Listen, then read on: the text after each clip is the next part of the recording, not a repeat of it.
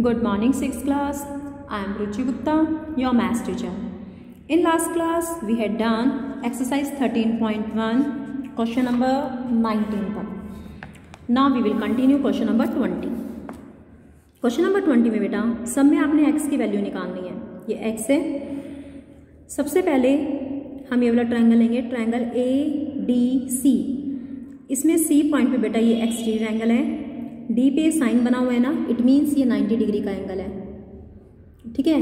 और ये भी पूरा आपका 90 डिग्री का एंगल है ए पे। ये भी 90 डिग्री का है। ये 90 डिग्री 90 डिग्री ये पूरा 90 degree triangle A D C में ये एक्सटीरियर एंगल है इंटीरियर अपोजिट एंगल है। एक्सटीरियर एंगल में से इंटीरियर अपोजिट एंगल माइनस कर देंगे तो ये ए आ जाएगा। ठीक है? पहले हमको ये निकालना है। इन ट्रायंगल एडीसी में angle A C X one twenty degree exterior angle है angle A D C ninety degree हमें गिवन है। हमने डी ए सी निकालना है ए पॉइंट पे जो एंगल है वन ट्वेंटी में से नाइन्टी माइनस कर दिया थर्टी डिग्री आ गया। हमने क्यों माइनस किया? क्योंकि एक्सटीरियर एंगल प्रॉपर्टी है।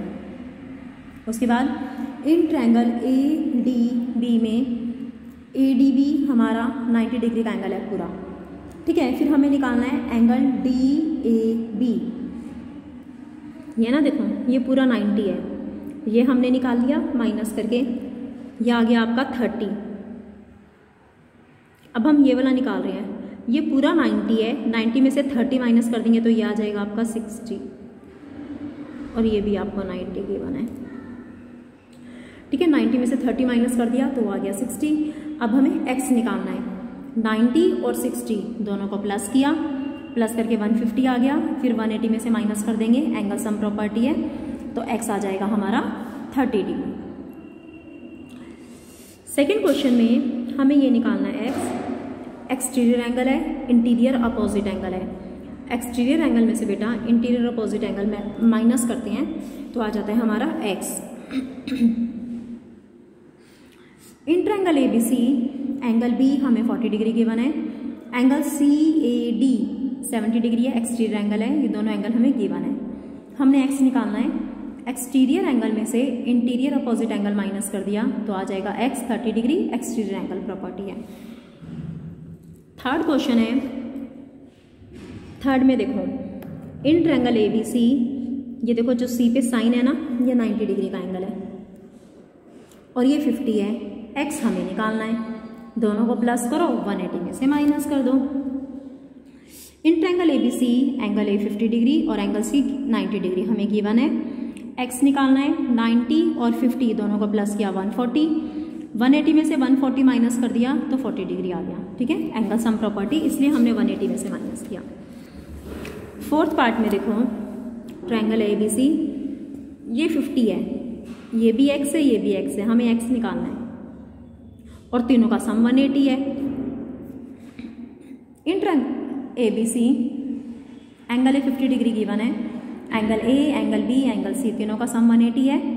ए हमें 50 डिग्री है. ये एक्स है और ये एक्स है. एक्स और एक्स टू एक्स ये 50 वहाँ जाके माइनस हो जाएगा. 130 एक्स निकाला हमने 65 ये दोनों एंगल ये भी 65 है और ये भी 65 है.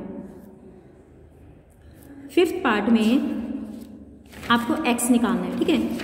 अब सी पे देखो 110 का एंगल है हमारा. ये 110 है। ये पूरा हमारा लीनियर पेयर है। 180 में से 110 माइनस कर देंगे तो ये आ जाएगा आपका 70 in triangle A B C angle B 30 degree और angle B C D 110 degree exterior angle ये दोनों एंगल हमें गिवन है। एंगल बी सी ये निकाल रहे हैं सी का इंटीरियर एंगल 180 में से माइनस कर दिया 110 70 आ गया। 180 में से क्यों माइनस किया? क्योंकि दोनों आपके लीनियर पेयर हैं। फिर x निकालना है एक्सटीरियर एंगल है इंटीरियर अपोजिट एंगल के सम के इक्वल दोनों को प्लस किया एक्सटीरियर एंगल प्रॉपर्टी ये देखो एक्सटीरियर एंगल निकालना था इंटीरियर अपोजिट एंगल के दोनों के सम के इक्वल होता है ये। सिक्स में ट्रायंगल ए बी सी में ये 50 है। ये देखो, ये जो साइन बना होता है ना, ये 90 का है। 90 और 50 ये निकालना है आपको एक्स अब ये कौन सा एंगल है? Exterior angle exterior angle is the sum of interior opposite angle in triangle A B C angle A 50 degree और एंगल बी 90 डिग्री दोनों एंगल हमें गिवन है। हमने एक्स निकालना है। एक्स एक्सटीरियर एंगल है। दोनों को प्लस कर दिया। 50 plus 90 140 exterior angle property question number 20 complete करना है। एक्सरसाइज 13.1 कंप्लीट करनी है बेटा। Okay thank you